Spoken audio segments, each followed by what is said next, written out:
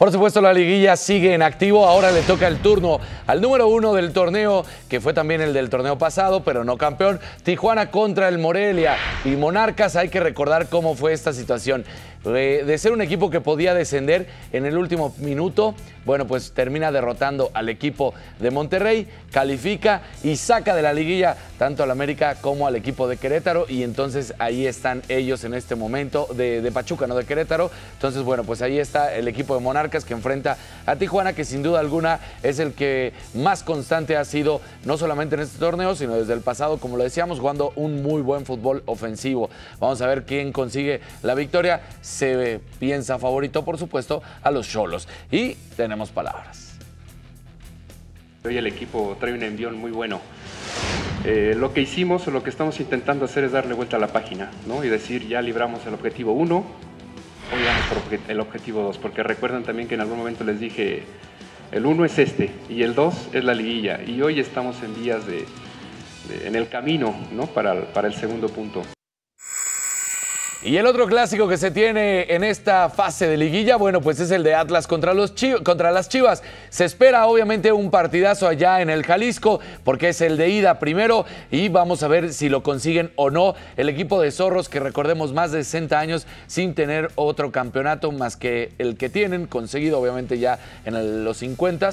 Y bueno, pues las Chivas que están queriendo festejar en grande en sus 111 años, a ver si lo consiguen con un campeonato y tratar obviamente de recuperar el lugar que perdieron con las Águilas de ser el equipo mexicano con más campeonatos. Entonces, bueno, pues ahí está el equipo de las Chivas, ya sabemos toda la situación que se tiene y bueno, pues aquí tenemos también las palabras. Eh, lo importante ahora es ir paso a paso, jugar partido a partido eh, y veremos. Digo, Atlas eh, sorprendió a todo el mundo cuando calificó, ahora trataremos de seguir avanzando.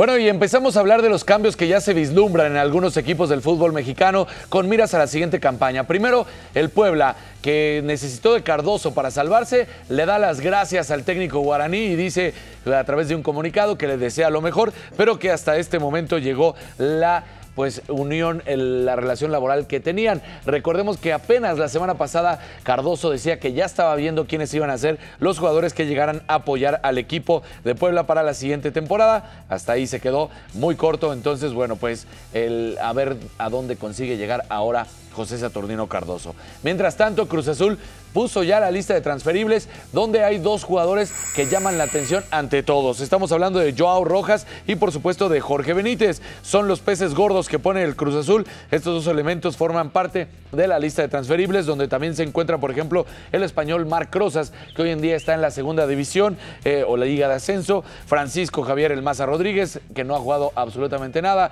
Richard Ruiz, Lucas Silva, Jesús García, Juan Carlos García Y Gerardo El Jerry Flores, como es conocido y que antes había estado jugando en el equipo del Toluca, pero que no logró tener el apoyo para mantenerse aquí. Y bueno, pues vamos a ver ahora quiénes son los equipos que buscan los servicios de estos jugadores que sin duda alguna hay bastantes interesantes. Y ahora, por supuesto, hablemos también de otro equipo que hace unos días sorprendió por el maltrato en el sentido de cómo dio a conocer el despido de Darío Verón y de, por supuesto, el Picolín Palacios, reconociendo que sí, todos los ciclos terminan, pero que, bueno, pues no se hizo de la forma en que uno esperaría que la universidad o que el equipo de la universidad, los Pumas, reaccionaran. Bueno, pues se da a conocer ahora que además de estas dos bajas y la, por supuesto, de Pablito Barrera, Abraham González, el español, dice adiós a los Pumas. El contención español anunció en sus redes sociales que no llegó a una buena negociación con el equipo y bueno, pues hasta ahí llegó el ciclo con los universitarios. Se habla de que Cruz Azul lo estaría buscando.